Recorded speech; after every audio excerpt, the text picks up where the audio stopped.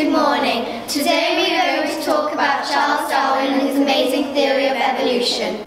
Charles Darwin was born in Shrewsbury on 12th of February 1809. He was very interested in nature, but seemed to dislike school.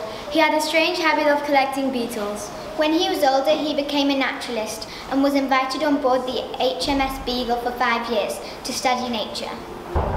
He attended Shrewsbury School with his brother Erasmus, but he hated it. Fortunately, the school was close to home, so he often ran away to home to meet his family and dog Sparky. Science time! Charles Darwin, oh what a wonderful man. Currently, he is in the Galapagos Islands researching rare animals. Today, we are going to learn about adaptation and Darwin's theory of evolution. Let's talk about giraffes. Darwin believed that the, the giraffe with the long neck would be more successful than the giraffe with the short neck, because if the tree leaves were to grow higher up in the tree, they'd be able to reach them. Therefore, their offspring will inherit the long neck and will survive longer than the giraffes with the shorter necks.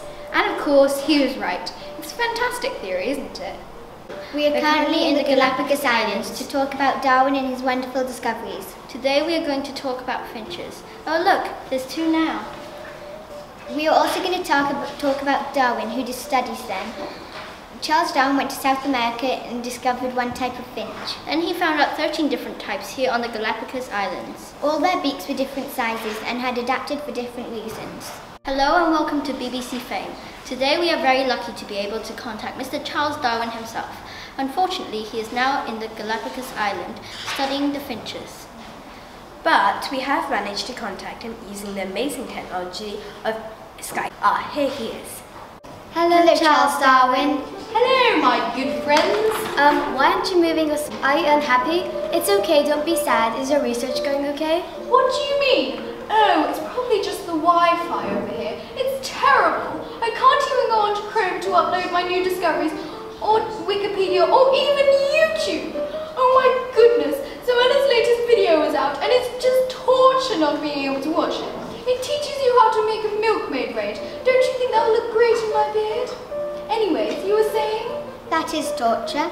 Okay, let's get started with the questions. When did you first start to get into being a naturalist? I began to enjoy nature since I was just a little squirt. When I was only five, when me and my father were in the garden, he told me to count every single flower. That's very interesting. Next question. Your father wanted you to become a doctor, but you disagreed. Why did you not become one? Oh well, after watching two revolting surgeries, I decided it just wasn't for me, so I chose to be a naturalist. Good for you. Okay, last question. What did it feel like living abroad? It's terrible. I get seasick every day. It's just so terrible. I always feel incredibly relieved when I step onto land.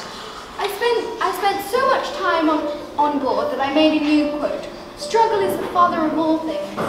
I know we said it was the last question, but we just thought of a question that not many people will know the answer to. Go on.